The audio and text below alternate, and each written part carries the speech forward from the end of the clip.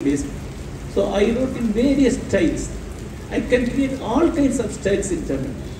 So that's why I choose Tam- to write in Tamil. So it's not an automatic selection or it is not a, an inheritance. I, I, I love to write in Tamil because uh, Tamil is my, the language of my mind and I, my dreams. And uh, while I'm starting to write in Tamil, once I wrote some fiction in, in English 30 years back. One of my gurus, Arthur Oyama, said, if you are going to write in Tamil, you have to write in Tamil and Malayalam only, not in English. English is entirely different language. There's entirely different section, uh, entirely different diction. If you are writing in English and Tamil, you will lose the musicality of Tamil, the inner music of Tamil, the rhythm of Tamil. That's more important. Great writers always live in a language, in a single language. So you choose one language. So I, I, I choose them.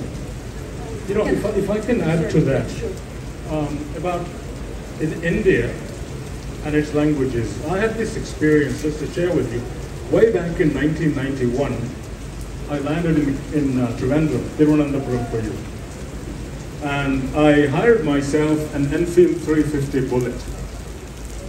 It's, it's, one of my one of my sicknesses, motorbikes.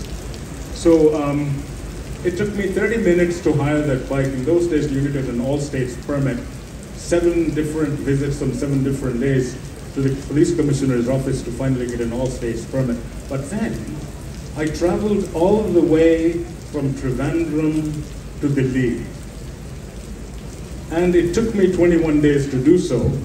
And within these 21 days, I saw uh, um, India like a lot of you haven't.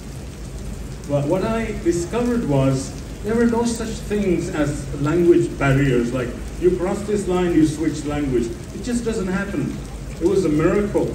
What happened to me was because I don't understand a word of Tamil, at least not at that time, but I still did understand Urdu and Hindi. So as I kept going north, the degree of comprehensibility of the language I was hearing on the roads out there kept increasing, kept increasing, kept increasing, until I kind of reached this area, including getting lost in the desert in Rajasthan, that at that point in time I could talk to everyone, and, and with, with no language barrier at all. And this is what I mean, it just, there is no such thing as a language barrier. I think it probably happens like when you cross over, say for example, from, I, I didn't go that far.